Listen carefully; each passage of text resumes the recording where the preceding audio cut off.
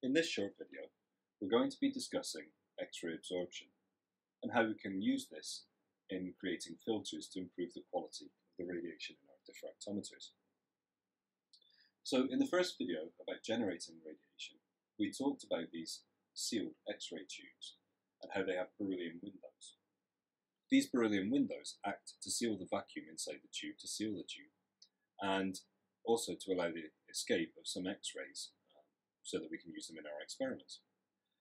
Over time, beryllium will oxidize to beryllium oxide. We tend to get these white crystals forming upon the windows.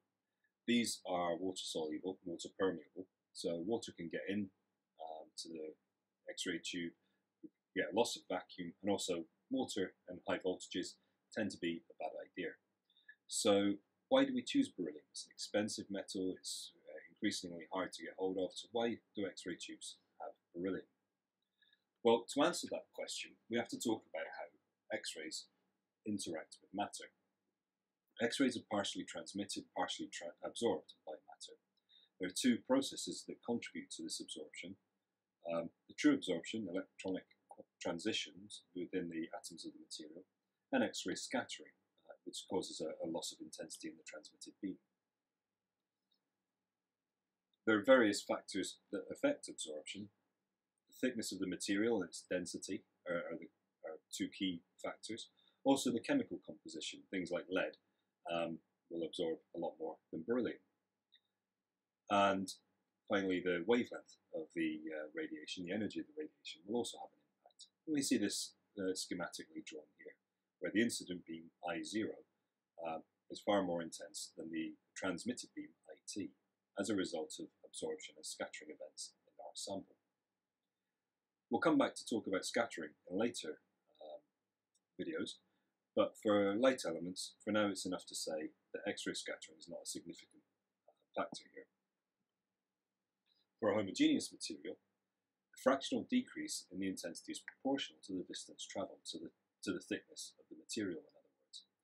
And so we can see that drawn schematically here, that the change in the intensity is going to be proportional to the thickness of the material.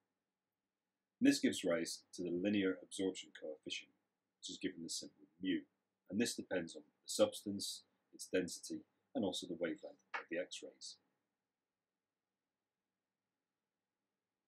Going through the uh, derivation of this, we arrive at the equation IT, the transmitted beam intensity, is equal to I0, the incident beam intensity, times the exponential minus mu x, where x is the sample thickness. The linear absorption coefficient is proportional to density, rho. So the linear absorption coefficient depends on the physical state of the material, whether it's a solid, a liquid, or a gas, in other words. And that gives rise then to the mass absorption coefficient, mu m. And this can be written uh, down here as IT equals I0 exponential minus mu m rho x, where rho is the density and x is the sample thickness. So this mass absorption coefficient is independent of density and then therefore physical state, and it's a constant of the material with the units cm squared over grams. Fortunately for us, um, most, uh, most elements have uh, had these values tabulated, so we can just look up the mass absorption coefficients for given materials with given uh, radiation types. So in our case, we're talking about beryllium, so we can look up the values for beryllium. The mass absorption coefficient is 1.11 cm squared over g for copper K alpha radiation. And also Wikipedia will tell us that the density of beryllium is 1.85 grams per cubic centimetre. So what does all this mean? Well, if our beryllium window was 1 millimetre thick, so x equals 0.1, what would be the intensity of the transmitted beam IT? Well, we can substitute values into our equation here. IT equals I0 e to the minus mu m rho x. So we know that mu m is 1.11. We know that the density, rho, is 1.85, and we're told that the thickness is 0.1 centimeters. We take the incident beam intensity as being 100, 100% in other words, and we can calculate the transmitted beam intensity, therefore, to be 81.4%. So 81.4% of our X-ray photons would be transmitted through this beryllium window of one millimeter thickness. So the beryllium window would only be absorbing uh, a little over 19.5%, 18.5%, sorry. In actual fact, the beryllium windows used in the sealed X-ray tubes are actually only an eighth of a micron thick, so they're much, much thinner than this. And that means, if you were to perform the calculation with the correct values, you would see that the transmitted beam intensity is almost 100%. It's effectively 100%. Uh, and so that's why beryllium is used, uh, because it lets through all of the X-rays that are striking those windows. As we say, these mu-m values have been tabulated for elements at various different wavelengths, uh, common wavelengths that we use in, in uh, X-ray laboratories. Um, for a compound, uh, the mass absorption coefficient, mu-m, is determined by the weighted mass fraction of the mass absorption coefficients of each element. You can see that written schematically here. What that means, well, uh, if we take the example of our beryllium windows degrading to beryllium oxide, well, we can calculate the mass absorption coefficient for beryllium oxide. The relative atomic, atomic mass of beryllium oxide is 25.01. So for copper K alpha radiation, Again, we can look up the mass absorption coefficients for beryllium 1.11, we've seen already, and for oxygen, um, the mass absorption coefficient is 11.5. So if we then work out the weighted mass fractions for beryllium, it's the relative atomic mass of beryllium 9.01 over the relative atomic mass for beryllium oxide 25.01. So the weighted mass fraction for beryllium is 0.36. Similarly, the weighted mass fraction for the oxygen is 0.64. So our mu m for beryllium oxide is equal to the weighted mass fraction for beryllium multiplied by the mass absorption coefficient for beryllium plus the weighted mass fraction of oxygen multiplied by the uh, mass absorption coefficient of oxygen. So 0.36 multiplied by 1.11 plus 0.64 times 11.5, which gives us 7.76 uh, cm squared of grams. So you can see that beryllium oxide is significantly more absorbing uh, than the beryllium alone would be. So we would see this possibly as a reduction in the intensity of our transmitted beam. We could also look at this another way uh, and ask what thickness of foil we would need in order to attenuate a copper X-ray beam by 50%. The trick here is to note that IT over I0 is going to be um, 0.5. So we're talking IT being 50, I0 being 100, so 50 by 100 is going to be 0.5. And that's equal to the EXP minus 1.11 times 1.85 times x, the thickness. What we're looking for now is this thickness x. So we can rearrange this equation so that the natural log of 0.5 is equal to minus 2.054 times the thickness, x. And again, we can rearrange that for x, and we can see that gives the value 0.337 centimeters. So if we had a piece of beryllium that was uh, 3.37 millimeters thick, we would be able to attenuate our copper X-ray beam by 50%, so cut its intensity in half. This principle is also the basis of radiography, as used in medicine and in uh, non-destructive testing materials. In these examples, you would use um, high energy because you need high transmission. You need to get the, the, the X-rays through the specimen, through the person, um, onto some sort of detector. So tend to use high energy, 70 kilovolts or higher tungsten tubes.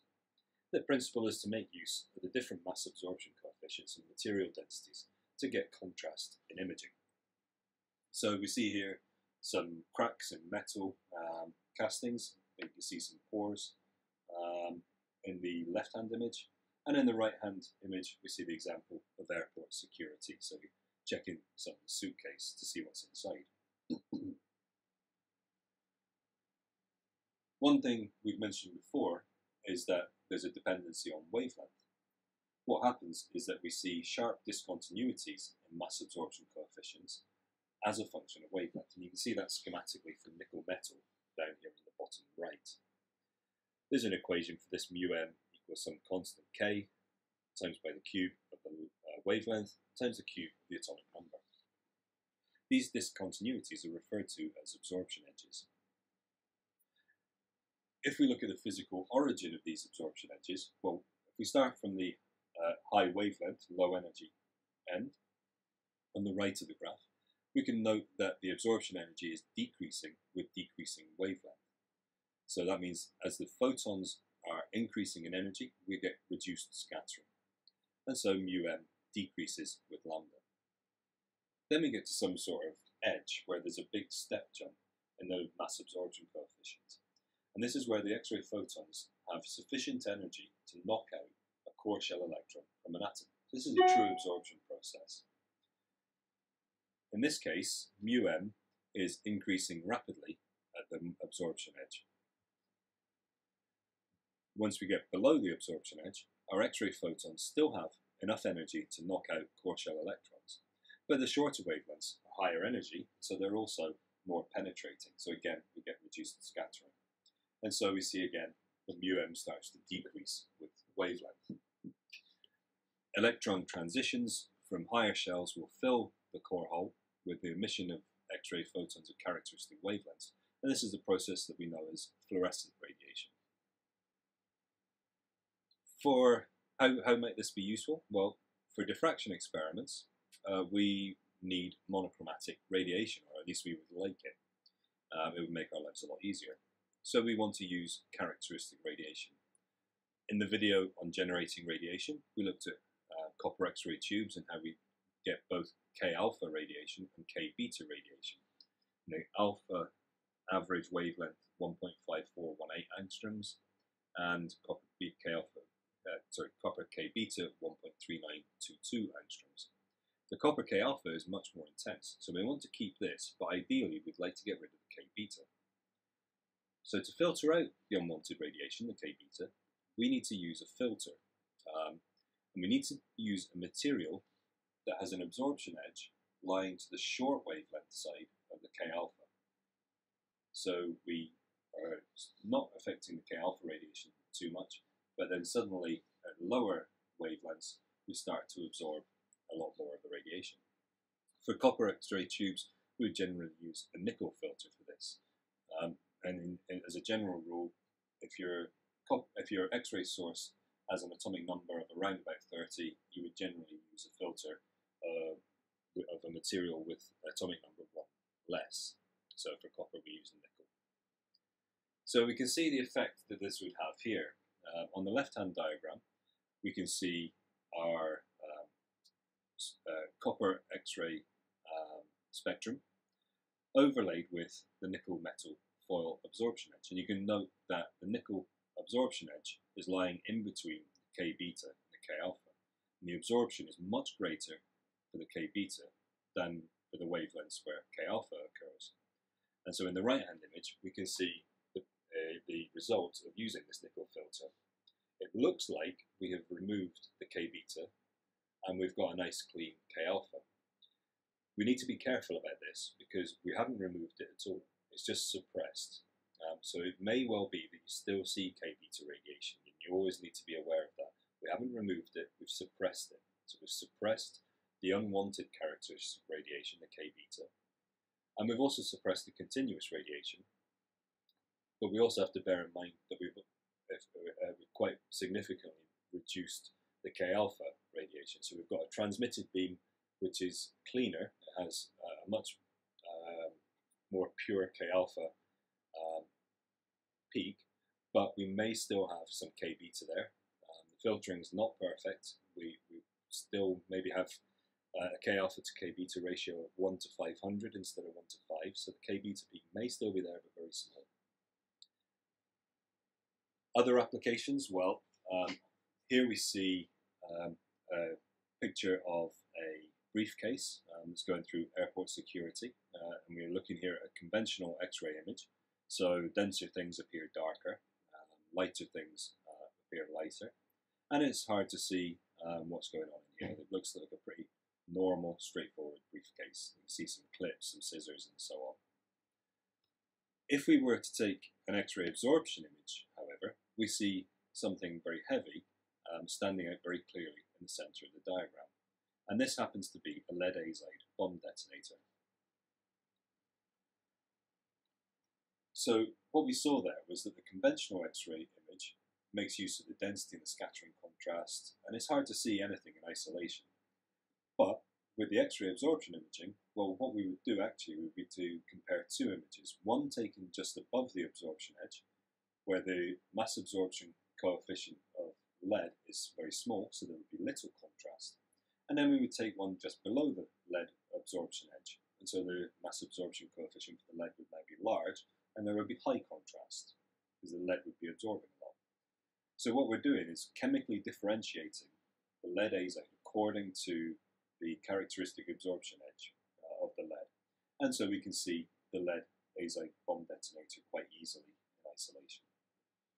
So hopefully this has given you an overview of X-ray absorption and how we use it uh, in X-ray diffraction and in other applications as well.